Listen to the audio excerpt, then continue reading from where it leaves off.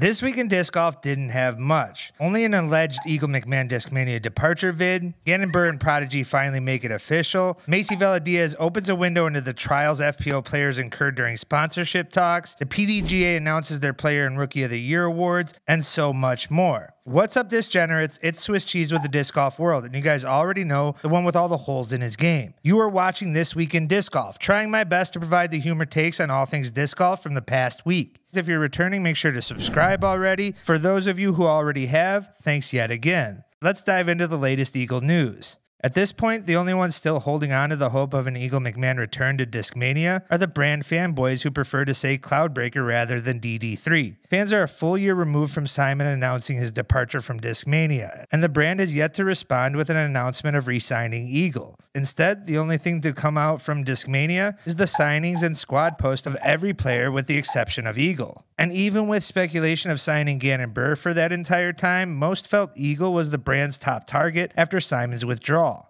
However, the silence from both parties for this long has become about as awkward as Stephen Hawkins rolling onto those Epstein flight logs. Unless you are waiting for a helicopter level announcement of signing both he and Gannon, there's almost zero chance Eagle's not going elsewhere at this point. Now, cue a rumored departure video leak has many in the community saying to themselves it's about time. The alleged video was supposed to have been posted by Eagle, only for it to be turned private shortly after. There was a post on Reddit that claimed they saw the video and not only watched, but shared it to their disc golf message group. Just hold tight, because the name of the post has many questioning the validity, as Self Aware Meme was the one who posted the screenshot of the video on their group message. Also, the post has little to no support from others who also watched the vid. So the community finds itself at a crossroads. Could this video be real and Eagle mistakenly posted the cut earlier than anticipated or when he thought he had the clearance to? It wouldn't be a first time a player has frivolously released their departure or signing well in advance of the date. And trust, mistakenly posting videos on the wrong date or time is very common. Or could this post simply be someone in the community's effort to pour gasoline on the embers of the too quiet disc golf offseason? Either way, it was enough for this and other content creators to have to mention it.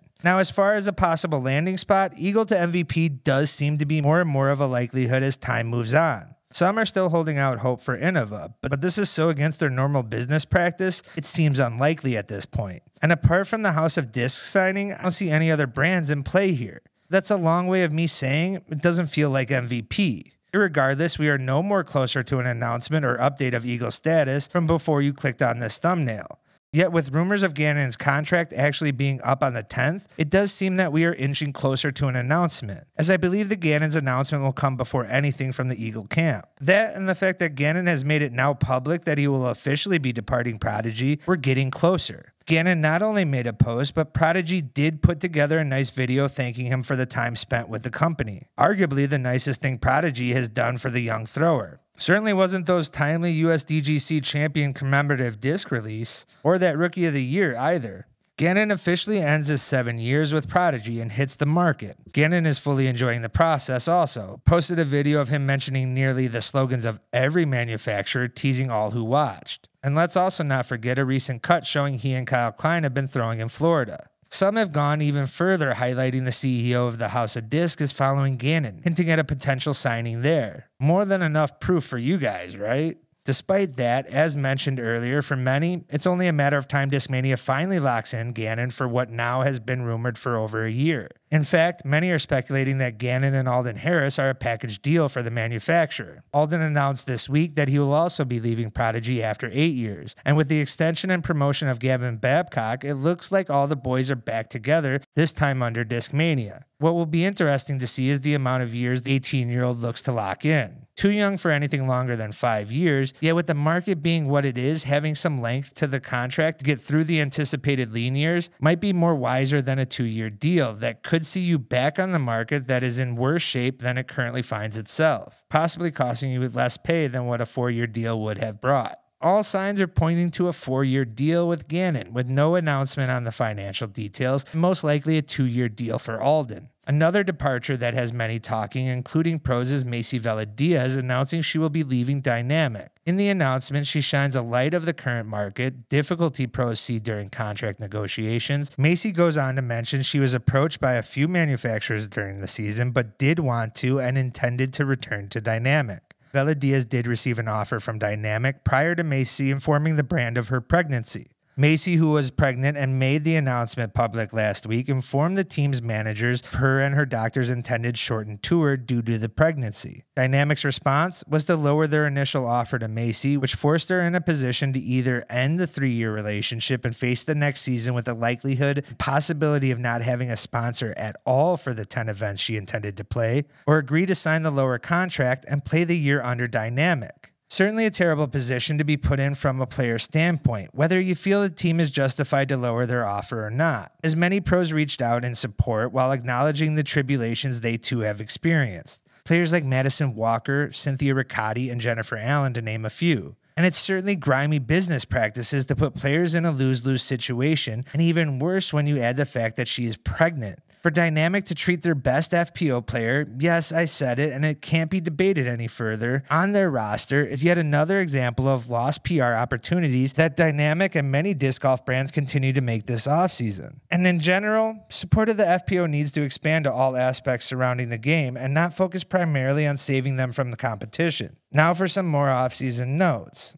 Let's start with even more departures, because in all reality, there are a lot more of those, and at least we know we have these announcements coming in the near future. Niklas Anttila leaves Discmania, a young talent that I'm sure garnered interest from a number of sponsors. Parker Welck also announced him leaving Prodigy, yet another loss of a winning pro from the Prodigy lineup. In some signing news, Emerson Keith joins Innova's champion team, a dream of his since he began playing. Also, Innova saw the return of Steve Brinster to the Innova champion squad after only a year apart, along with the return of Haley King, Germ, among others. Chandler Fry and Lucky Lorenzen both signed sponsorships with Infinite and Thought Space Athletics. Great signings for both the players and companies, as this seems to be a very good fit all around. Chandler Kramer was spotted throwing some hooligan protos. And the PDGA announced both their player and rookie of the year. As for the player of the year, no surprise here, as both Vinny and Tattar had the most points going in. Didn't surprise anybody with both of their victories. In the Rookie of the Year, Paul Krantz with Discmania won in the MPO, and in the FPO, it found one of the Linz twins, this one Morgan, as the Rookie of the Year winner. And let's move into some quick hitters. Ricky Wysocki's philanthropy didn't stop at his New Year's Eve invitations. Ricky posted while he was at Dynamic Warehouse for some business, he would pull some disc for a couple of fans. Ricky and Drew Gibson discussed each other's portfolios for everyone to witness, like one of those lame progressive homeowners becoming their parents commercials. Last week, Brody announced he would begin a sports card channel with a friend. This week, he posted their first vid, hinting at a dramatic clickbait card pull and use of a very familiar red arrow. And now we got our Brody reference quota in. Didn't want to leave you guys nothing to comment below about. All jokes aside, we wish him the best on the latest channel. And for those wanting to know, it was a CJ Stroud rookie card. Discmania auctioned one of 10 limited release Cloudstones on eBay, selling for just over $760. If you forgot, the chance to receive this disc was had if you purchased both sets of the Discmania mystery boxes. And even then, it's still random. That's certainly one way to set the market value of a disc and the entire promotion. Discmania will now be posting the other nine into random mystery boxes for the latest release.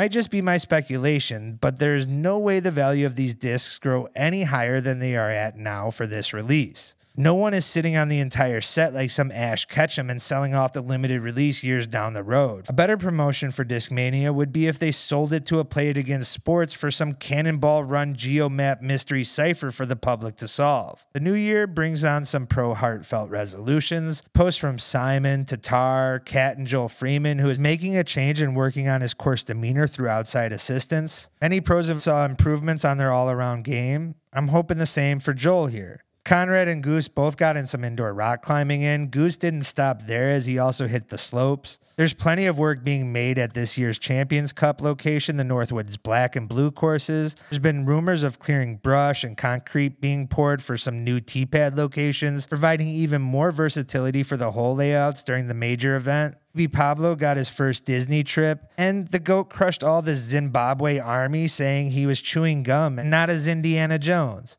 Bradley Williams gets snowed in at Norway and also released his first episode of a new podcast featuring him and co-host Lucky Lorenzen. Austin Turner gives us the off-season workout mirror selfie. You know this doubled down as his Tinder profile pic later. AB shows us his lock impersonation of Ricky throwing a drive, including his patented Fernando Valenzuela look to the heavens approach. Isaac Robinson posted artwork by Joel Robinson that made the entire once great Prodigy boys into China, Illinois characters, and that Gannon portrait is just nightmare fuel. And guys, that wraps up another twig. If you stayed this long and you aren't subscribed, make sure to do so. While you're at it, like, comment, and share. And if you want more, make sure to peek all the previous episodes. Be out on the lookout over on the Swiss Cheese Disc Golf channel, coming soon.